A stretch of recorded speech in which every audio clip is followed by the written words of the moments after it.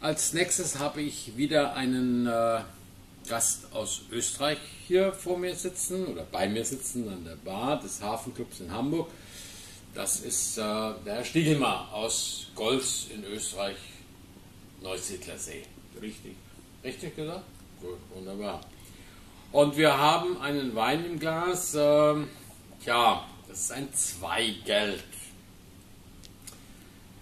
Wissen natürlich viele, dass ich nicht unbedingt ein großer Freund der Sorte Zweigelt bin. Das ist eine, eine österreichisch typische Neuzüchtung. Wie alt ist die? Seit wann gibt es die? Die gibt es ungefähr seit 60 Jahren von Dr. Zweigelt aus der Weinbauschule Kloster Neuburg aus den Sorten St. Laurent und Blaufränkisch gezüchtet. Und jetzt seien wir mal ganz ehrlich, die genießt keinen so überragenden Weltruf, weil sie auch zwischendurch, glaube ich, als Massenträger missbraucht wurde. Ne? Ja. Kann man so sagen. Kann man so sagen, es ist wieder Cabernet ein Massenträger, aber wenn man ihn stark reduziert und mhm. ältere Weingärten hat, kann man auch gute Sachen daraus machen.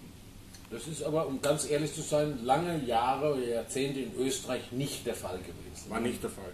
Ne? Man hat wirklich gesagt, das Masse, quetschen, Masse, wir, Masse, quetschen wir aus bis, bis zum, zum Geht nicht mehr. Und dann verramschen wir das. Und dann hat man eigentlich ja diesen Ruf diese, oder diese Qualität des Zweigels irgendwo ein bisschen kaputt gemacht.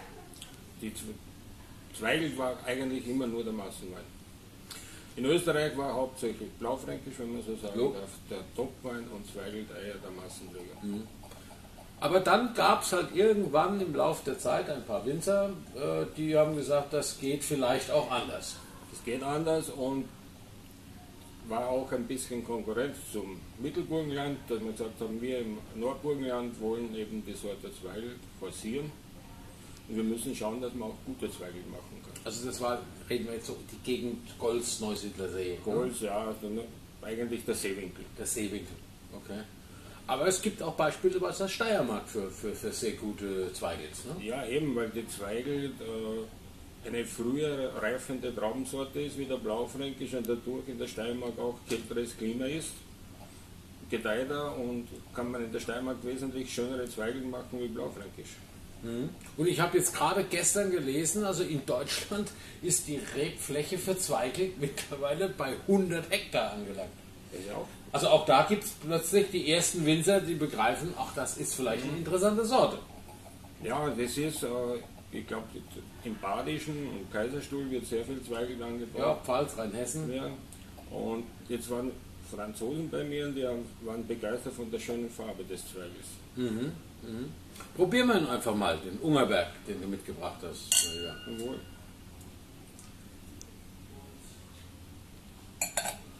Hm.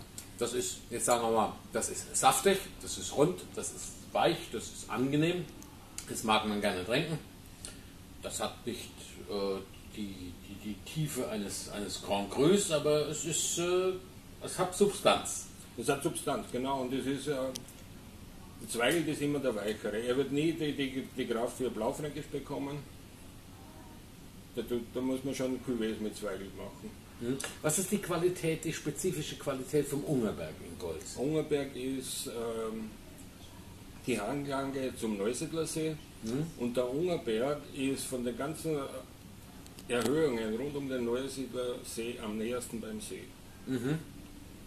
Kriegt also auch noch Wärme vom Kriegt See. Wärme vom See. Mhm. Und eben Mainzweigel, der Ungerberg, der ist jetzt äh, 2001 war der Weingarten 42 Jahre alt.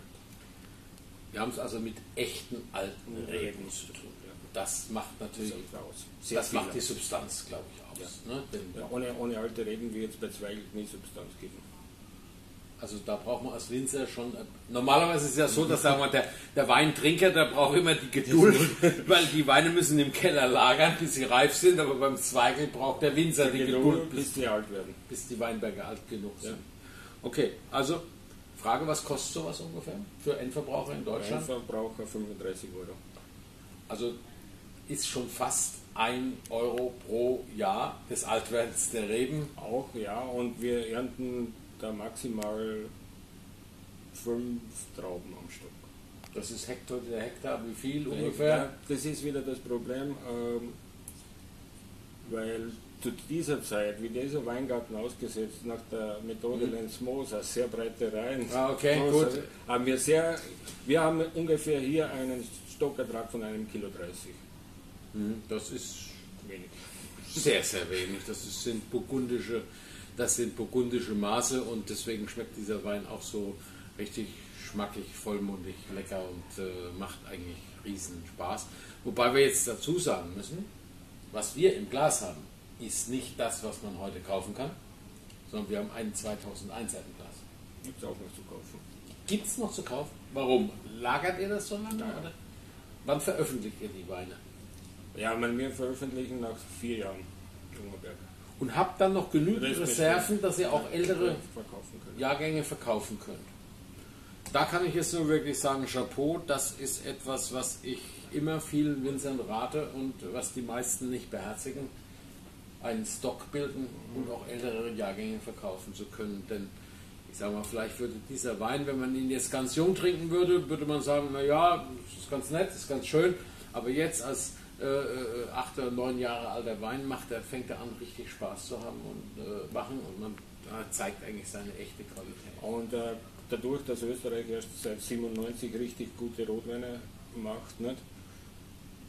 Kann man das so sagen, seit 97? Oder? Ja, also mal in, der, in größeren Menge. Ne? Okay, gut, ja. Das einverstanden. Weil vorher gab es schon Top-Winzer auch nicht, ja. sehr gute Rotweine machen. Aber da hat sich das Rotweinniveau erhöht.